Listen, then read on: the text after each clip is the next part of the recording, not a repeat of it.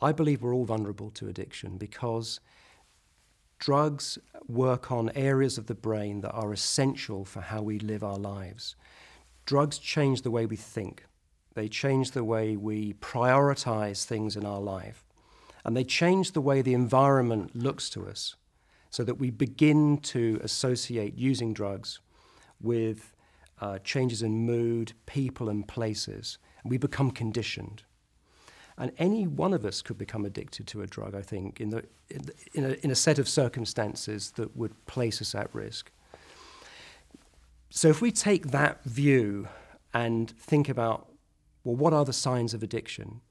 Then they're really a habit that's begun to be too ingrained. One of the easiest ways of telling whether you have an alcohol problem, for example, is asking yourself, can I limit the number of drinking days I have each week?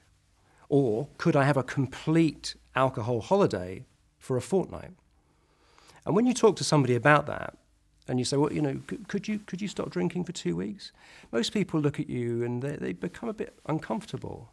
Um, or they say, no, that's no problem. In fact, I, I haven't had a drink for the last three weeks. I find it very straightforward and interesting and easy to do that.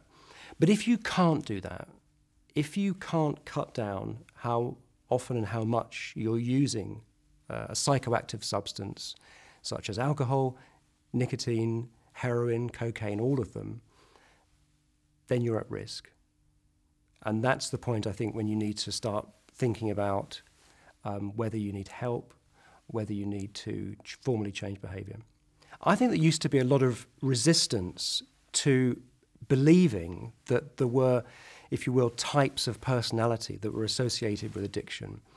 Um, I remember when I was first receiving training in this field, the view was that there were no biological causes. It was a social problem. It was it, addiction was was born out of um, poverty, unemployment, social disadvantage somehow, and that always seemed to me to be um, both a kind of correct description of some drug subcultures, but hardly a sufficient condition of the sort of expression and nature of addiction itself.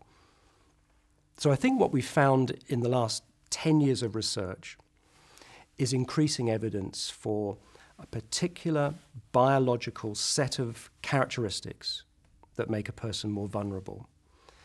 There does appear to be aspects of personality that make a young person more interested in experimenting in drug problems and perhaps more vulnerable to developing regular use and then downstream addiction. Those personality characteristics include a, a, sort of propensity, a desire to seek out new or exciting experiences, sensation seeking.